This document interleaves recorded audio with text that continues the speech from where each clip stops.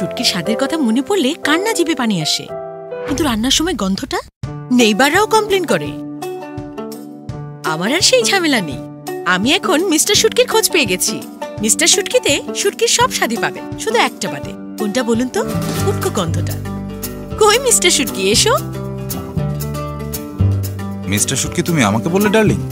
না না এটা কে? মিস্টার শুটকি একশো ভাগ শুটকি স্বাদ। Ready to eat out of the jar.